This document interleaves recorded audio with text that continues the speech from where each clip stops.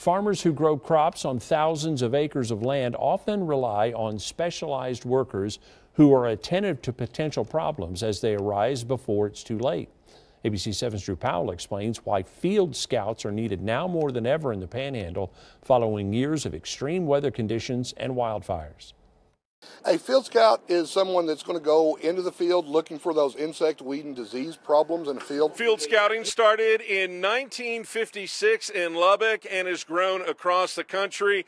No doubt they play a vital role because they're like an extra set of eyes for ag producers and farmers. Anybody can go out and do a field and say that's cotton, that's sorghum, that's corn. Uh, very important to know what growth stages are and very important to know what the physiological aspects are and the entomological aspects are. Playing an important role for crop production are field scouts who work closely with producers to help make sure problems with insects and weeds are identified and treated as soon as possible.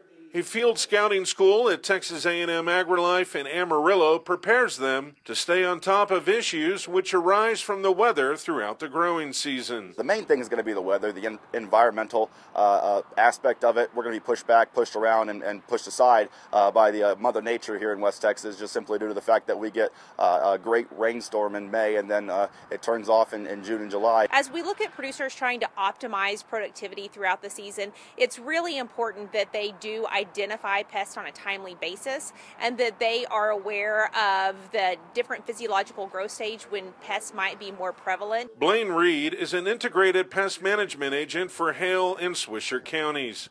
He says managing inputs precisely and efficiently as possible is vital for producers who are tasked with growing more food and fiber. Especially here in West Texas, we are a breadbasket, but we're not an ideal environment to grow everything. We can grow anything, but we've got a short window to do it, and we have very limited resources. We already have planters on the ground, so we have a lot of corn that's been planted. We have producers that are planting cotton right now, and so we have producers that are uh, really active at this point. Drew Powell, ABC 7 News.